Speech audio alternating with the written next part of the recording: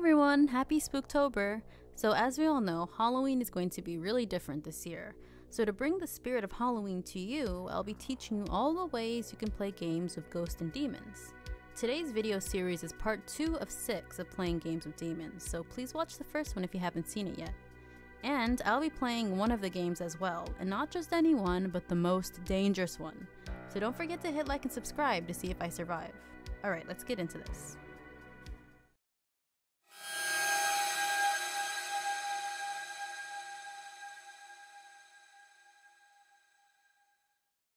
Have you ever wished you could know about your future?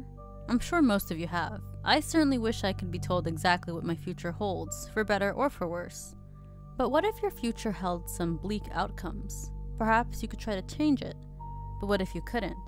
What if there was no way of knowing how you could change it to prevent an awful future? What if knowing the future was so harrowing and so bleak that it led to people taking their lives? Well, that's exactly what happened in Japan. Tsuji Ura, or the fortune telling game. You'll need one player, a comb, something to cover your face, and a crossroads. The use of a crossroads has always been quite intriguing to me, as many cultures all over the world have viewed the crossroads as a location thought to be between the worlds, and as such, a site where supernatural spirits can be contacted and paranormal events can take place. Begin the game at night. Go to the crossroads with your comb and face covering. Make the comb speak by strumming the teeth of the comb with your fingers three times and repeat the following Tsuji Ura, Tsuji Ura, grant me a true response. Wait, watch your surroundings, and be patient at the crossroads until someone approaches. If no one approaches, or if someone you know approaches, the game is over and you have to start over at another time. If a stranger approaches, you may continue the game. As soon as you see the stranger, cover your face with your face covering. Do not uncover your face at any point. When the stranger is close enough to speak to, you may request that they tell you your future. Be polite, do not demand or provoke them, and do not uncover your face. If the stranger does not answer, do not proceed. Let them leave and you may remove your face covering. If the stranger refuses, also do not proceed. When they leave you, you may remove the face covering and wait for another stranger to approach or try again at another time. If the stranger answers, you may continue, but do not remove your face covering. Listen carefully and closely to the stranger. When they are finished, thank them for their time and allow them to leave. Only when they are gone you may remove your face covering. I honestly don't recommend playing this game, not just because of its history of leading to suicides, or for the sheer fact that standing alone at night awaiting an entity to approach you is quite chilling, but it may also be quite dangerous even if you bring a friend with you, because you don't know what other people may be around the crossroads at night and you could be harmed.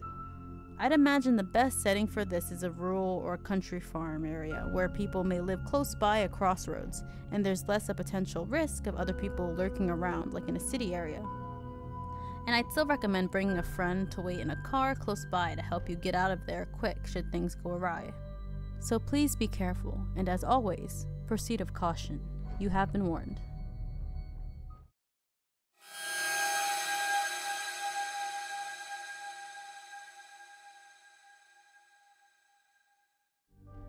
The Midnight Man. This is a pretty scary game where you call a dark entity and must survive it until 3:33 a.m.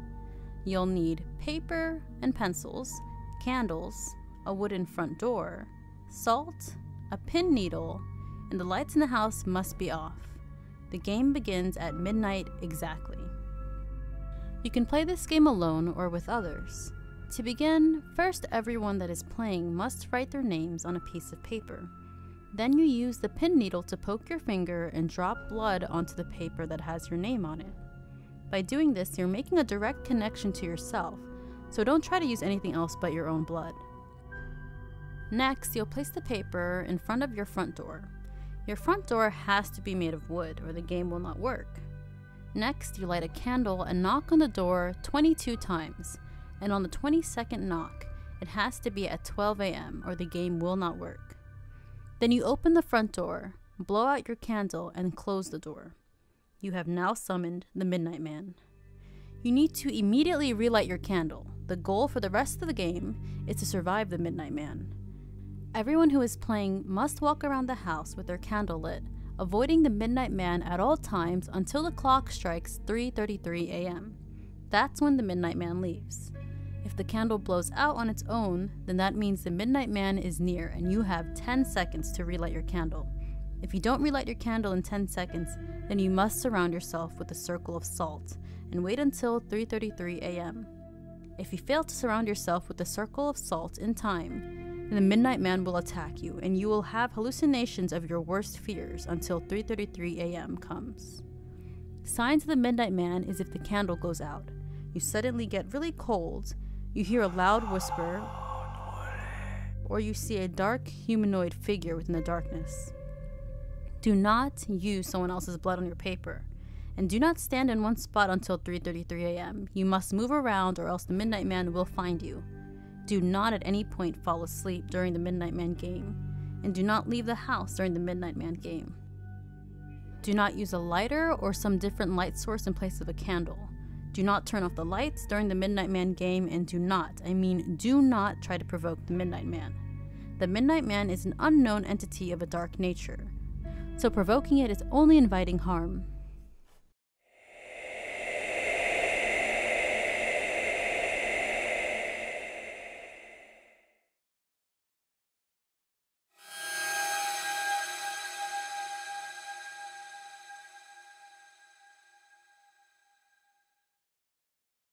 The Three Kings Ritual. It may sound familiar, but this is not the Three Kings of a biblical nature. It is one of the lesser known, yet still quite dangerous rituals performed to summon three dark spirits. This game requires two people. You must be sober, you must be stable, and not tired. Do not, I repeat, do not attempt to play this by yourself. You need another person for safety. This game also requires a large windowless room, so preferably a basement. You'll also need candles, a bucket of water, a mug, an electric fan, two mirrors, three chairs, an alarm clock, a fully charged cell phone, and one object with sentimental value. Have all your supplies ready, and the game begins at 11 p.m. Place one chair facing north in the center of the room. This is the throne. Place the other two chairs on either side facing towards the throne, but at an arm's length away from it. These two chairs belong to the queen and the fool. Next, place a mirror on the queen's chair and the other on the fool's chair. Both mirrors should line up to face the throne, so that if you are seated in the throne, you can see yourself from your peripheral view in both mirrors. Place the bucket and the mug in front of the throne, but just out of reach. Then place the fan behind the throne and set it on medium or low. Now go into your bedroom, set the alarm clock for 3:30 a.m., and place the candles, a lighter, and your cell phone next to your bed. Turn the lights off and hold your sentimental object. Then climb into bed and go to sleep. At 3:30 in the morning your alarm will go off. Stop the alarm, but keep the lights off. Hold on to your sentimental object and cell phone. Light one candle and then return to the throne room with the chairs and the mirrors. If all goes according to plan, you should be sitting on your throne by 3:33 a.m. and no later holding your cell phone, a burning candle, and a sentimental object. A few warnings about this game. Do not continue the game if your cell phone is not fully charged. Your alarm clock did not go off at exactly 3:30 a.m. The door to your throne room is closed. The fan is turned off, or you are not seated in your throne by 3:33 a.m. in the morning. If any of these rules are broken, get the hell out of the house. I am not kidding. Take everyone there with you and do not come back until at least 6 a.m. in the morning. If all goes well and there are no issues and you are seated in your throne by 3:33 a.m., then the game can proceed. While seated in your throne, do not at any point look directly at the mirrors. Your partner must wait outside of the throne room during the game. Also, do not let the candle go out. Should your body move, the fan behind you will blow out the candle, making you vulnerable. With your eyes focused on the darkness in front of you, begin asking questions. This is similar to the method of scrying in the dark, which can be quite risky and potentially dangerous. The answers, if you receive any, will come from the mirrors on either side, but again, do not look directly at the mirrors. While listening to the replies, you must remember one thing. The answers will be coming from either the Fool or the Queen, but you may not know which is which. So be careful about following any advice you are given. The game continues until 4:34 a.m. Do not leave the throne until then. At 4:34 a.m., your partner will end the game by calling out your name. If this doesn't work, then he or she should call your cell phone. Should this fail to bring you out of the game, your partner should enter the room and use the mug filled with water from the bucket to snap you out of it. This is a very dangerous game, so proceed with caution. And never play a game if you think you can't handle it. Demonic entities can sense your fear. Well, that's it for now. Remember, I'll be playing the most dangerous game with demons in the series, so keep watching this series to see that. Thank you so much for watching and stay spooky, everyone.